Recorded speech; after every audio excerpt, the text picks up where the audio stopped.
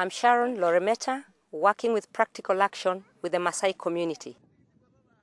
We've seen a lot of climate change. People here are not surviving because they have lost all their animals and they have no water. They used to get rain twice in a year. Animals have continued to diminish. Vegetation has continued to go down because the rains have not come. And there is no alternative. They cannot cultivate because this area is an ASAL area. There is saline water that is flowing on the river. Human beings are consuming, but it's not really palatable. They'll have to continue surviving on it because they will not look at themselves die. This is part of the global warming, I would say, and it's really had a negative impact. You can look at our area and see how dry it is.